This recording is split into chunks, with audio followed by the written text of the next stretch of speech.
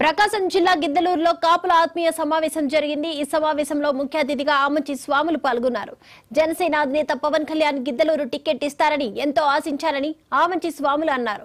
గిద్దలూరులో charitable trust పెట్టి ప్రజలకు సేవ చేస్తున్నారని కూడా ఆయన తెలిపారు.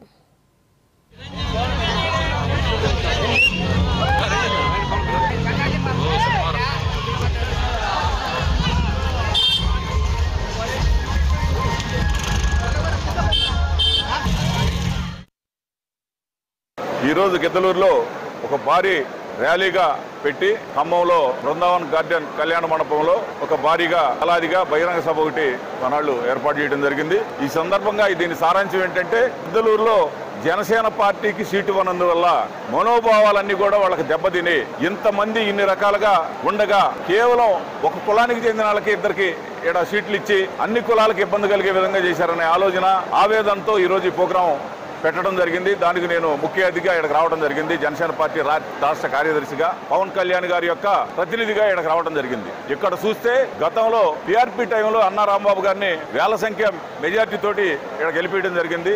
అలానే నేను కూడా పవన్ కళ్యాణ్ గారికి టీడీపీతో పొత్తు లేకపోయినా సరే నేను గెలుచుకొచ్చి మీకు ఇస్తాను. ఇక్కడ సర్వే చేసుకోండి. ఇక్కడ ప్రజలందరినీ కనుక్కోండి అని చెప్పడం జరిగింది. ఆయన నాకు మాట ఇవ్వడం జరిగింది. అలానే నాదేళ్ళ మనోహర్ గారు కూడా మాట ఇవ్వడం జరిగింది.